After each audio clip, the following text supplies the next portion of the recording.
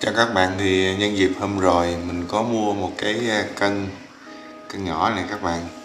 Thì à, mình mới tò mò xem là cái à, lượng đường tiêu thụ hàng ngày của mỗi người các bạn, thì bao nhiêu là đủ? Thì khi chẳng hạn như giờ khi mình uống một chai nước ngọt như vậy là có đủ lượng đường chưa?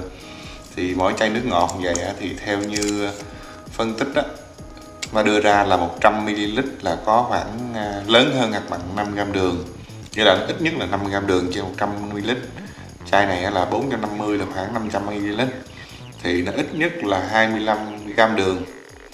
Thế thì ờ, nghĩa là khi mỗi ngày bạn uống bao nhiêu chai nước vậy là sẽ đủ lượng đường cho cơ thể tránh bị tiểu đường các bạn.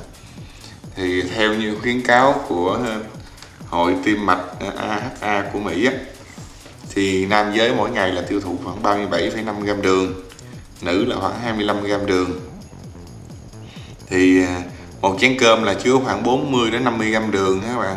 À, khoai lang chứa khoảng 160 gram đường nè. Thì các bạn à, cái gì các bạn sẽ, sẽ xem đây các bạn nghiên cứu ha. Thì mình quan trọng là mình sẽ tính cho các bạn là mỗi một chai nước là khoảng bao nhiêu gram đường. Một một và và một cái lượng đường bao nhiêu nếu như mình lấy muỗng mình cân các bạn. Thì à, chai này là 450 ml. Mình làm khoảng 500 đi thì đường nó sẽ lớn hơn 100ml nó là lớn hơn 5 gram mà. Vậy thì là 25 gram đường. Mình sẽ cân cho các bạn 25 gram đường là bao nhiêu ha các bạn? Đây. các bạn cùng theo dõi bây giờ mình sẽ mở cân lên rồi dạ, mình chỉnh cân đang là ở 00 nè các bạn. Thì mình sẽ lấy ra cái 25 gram đường là bao nhiêu ha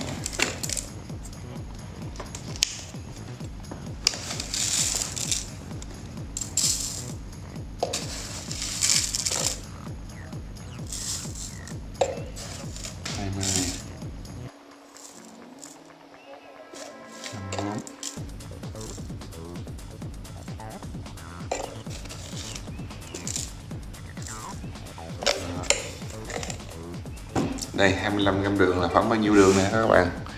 Thì nghĩa là chai nước ngọt này là có khoảng 25 gram đường. Đó. Chai đây là chai trà xanh nữa các bạn. Cái chai trà xanh trên thị trường á, là nó chứa khoảng bao nhiêu đường nữa nè? Bạn để mình sẽ giải cho các bạn xem kỹ hơn ha.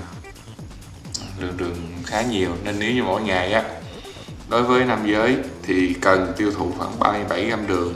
Trong khi nam giới thì ăn một ngày khoảng 3 4 chén cơm các bạn thì cái lượng đường trong cơm là đã cơ thể đã gần đủ rồi, ha. Nếu ăn khoai lang thì khoảng một củ khoai lang 160g chứa khoảng 45g đường thì à, hôm nay mình à, làm một cái clip vậy để cho các bạn xem nè, đó. khi mà mỗi một ngày nếu như mà mình uống một chai nước như thế này là lượng đường có thể đã dư cho cơ thể rồi tại vì mình còn ăn cơm nè, còn nếu người nữ là 25 gram là chai nước thì là đủ được đường cho cơ thể luôn rồi. Mà người nữ thường hay là ăn đồ ngọt nè ăn sữa chua nè ha, rồi ăn ờ, các sản phẩm khác như là rau củ quả. Có vị ngọt là nó sẽ có đường nữa.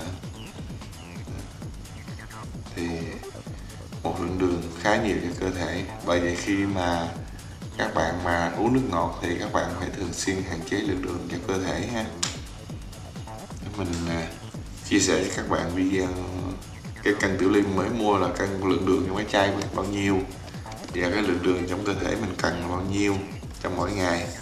Mình chia sẻ các bạn ha. Thì xin chào các bạn nha. Cảm ơn các bạn đã xem video.